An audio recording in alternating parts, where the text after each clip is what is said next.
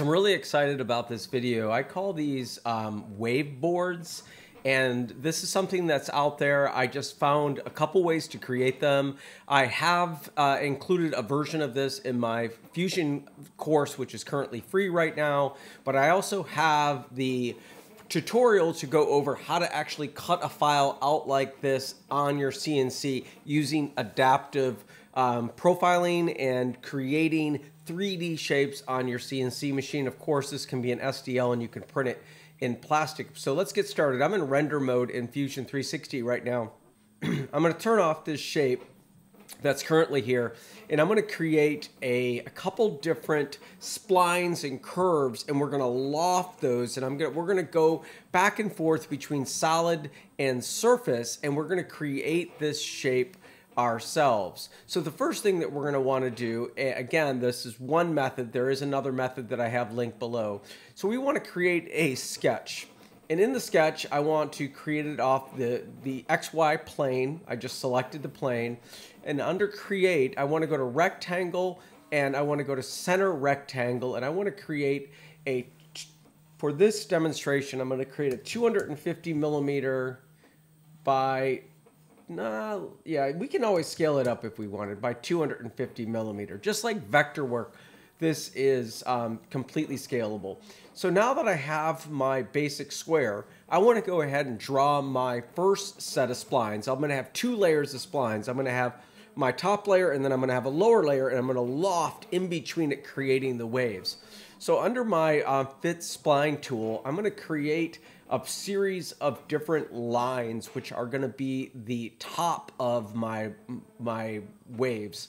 And I'm just going to click and move it. I'm not clicking and dragging like I do in Illustrator. I'm just clicking and moving those points. When I get down to the bottom one I'm hitting enter but I'm not finishing my sketch yet and now I'm going to do another fit line and I can do as many as I want you can be really creative you can you could think about creating a level of interest that you, only you could create. And I'm just going to draw nicely, have fun drawing this. Now, I could draw this in Illustrator, but I've decided to keep this going inside of Fusion just to keep it a Fusion tutorial.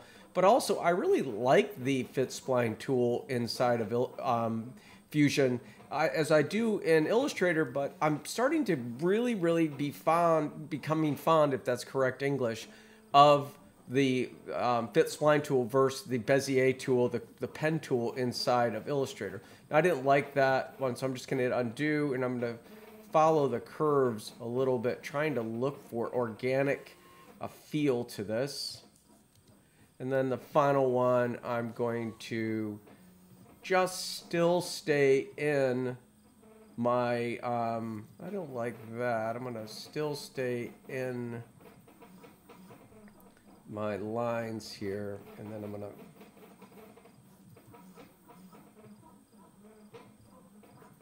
and I'm gonna come down. Yeah. So now I have my first set of top of my waves, and I feel really good about that. So I'm gonna hit finish sketch. So now it's gonna reorientate it. And now what I want to do is I, I have um, a series of, this is my sketch right here. I demoed this, I went ahead and did this before. So that's why I have these sketches here. But all I have is I have this sketch that I just drew. Now that I'm going to create another one, but on this time, I'm going to create one on a different plane. So when I go to create sketch, I'm going to get this little, these three planes that are default. I want to go to construct and I want to offset plane. I'm going to choose the XY plane and I'm going to bring that down, um, let's say negative 15 millimeters. And what's really cool is I can um, drag that. So I turned off my construction, so there it is. So my construction was off, so that's why it went away. And now I'm going to, with that selected, I'm going to turn off this sketch and I'm going to create another sketch down on this layer. So I'm going to create a sketch on my new offside, the, the, the offside, um, the offset plane. I'm going to create a new sketch on my offset plane. I'm going to go to create rectangle, center rectangle, the same 250 by 250 by 250 rectangle. And now I'm going to do another set of curves which coincide, those splines will coincide with the other ones. So I'm going to turn that back on, but I have this sketch active.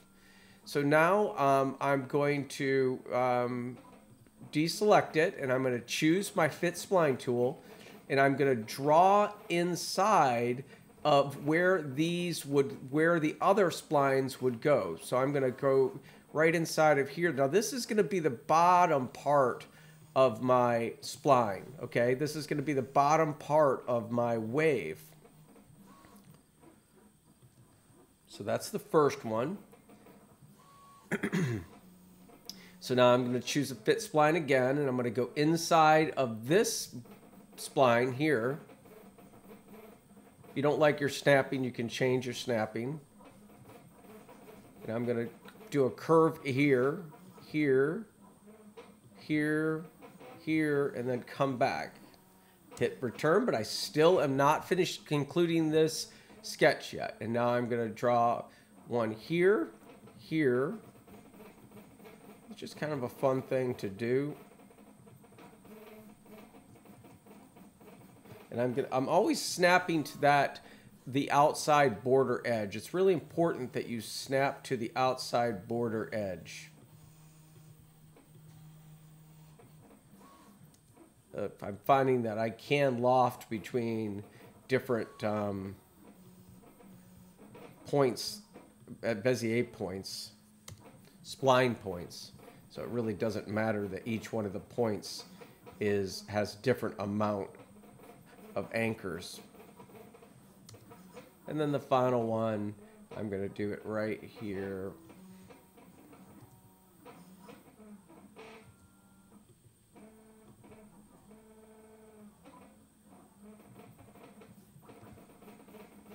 There we go. That's it. Now I have my two. I'm going to finish the sketch. Now I'm going to go into my 3D view and you can see here that I have one set of curves up here at the top and I have one set of curves here at the bottom. And now I'm gonna go ahead and show you how to loft and then stitch and then subtract that surface by trimming it from a block and we're going to be jamming. We have our two sets of splines, our spline patterns here. And we can go back and edit these and it'll completely change the sculpture. In the other video, I'm gonna show you how to create these an entirely different way, a procedure way which you're really gonna like. So I'm gonna hit escape.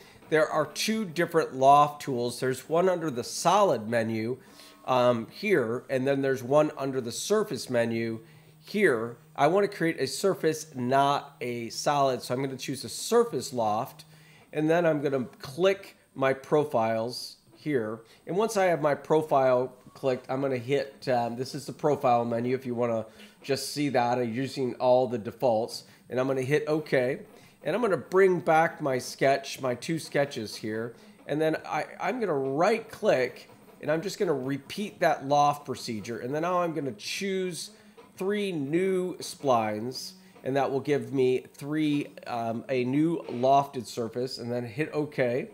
I'm just going to right click, repeat loft and going to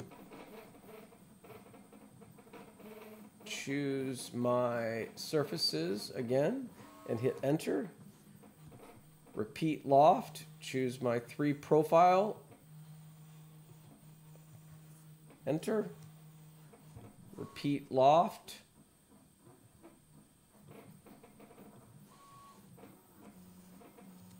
Enter, which is sets okay.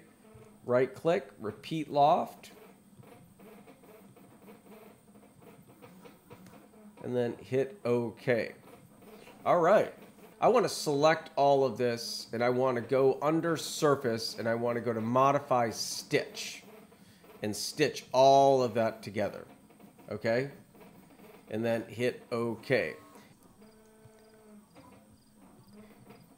Now this is a little bit on the tricky part because there's so many different ways you can do it, but let's do it. We are going to use this stitched lofted surface to trim a cube.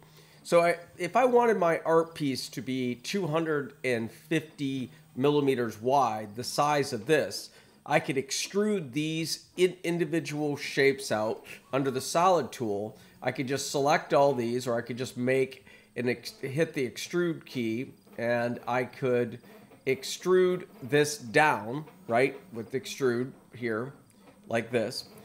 But another thing you can do, and this is a little trick, you can also scale this up when it's done. So let's say that I wanted to remove a section of this artwork from my block of wood. What I can do is create a box. I'm going to choose this um, plane, my XY plane, and I'm going to draw a box within the confines. And this time I'm going to do 150 by 150, and that is going to be my art form. I can always expand it the way I want.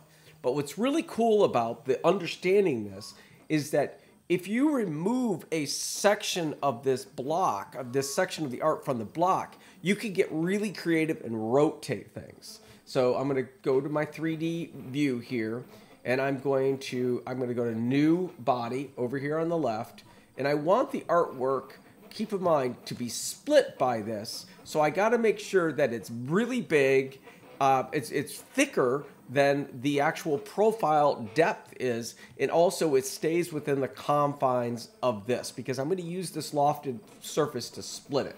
And then um, I'm going to select OK on that. So now I have a new body.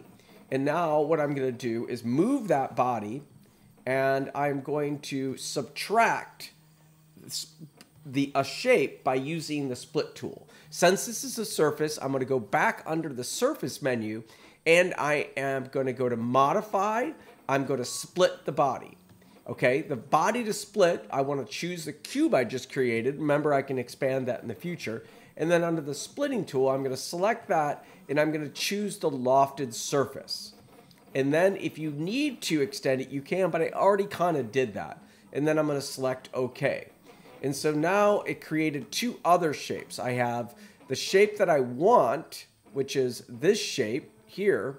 So I'm going to hide the other shapes. Uh, I think it's this here. And I'm going to move this shape up here to the top. And now I'm starting to get some of that artwork that I really like. I'm going to turn off my other two sketches and now I have some artwork and I can go back and I can use that surface that I created as a splitting tool. And now I want to soften these edges a little bit. So I'm going to go and I'm going to select the top, maybe at the top spline or the vertex to where it meets. And I'm just going to select this and I'm going to hit my F key, which does a fillet, and I'm going to choose two millimeters and that will soften it. So now just to end up where we were at the beginning, if I go under render and I bring this up and I choose my materials, I can drag a piece of wood over to it. Um, if I wanted to uh, cherry, I would just download that and I would drag cherry on top of that and I can include the uh, brightness. I'm going to turn off that construction plane right there and now I have my beautiful piece of artwork. It's obviously a simulation of what it would be, but it just shows you what you can do. So that's it guys. Whatever you do, make something that connects someone. Bye.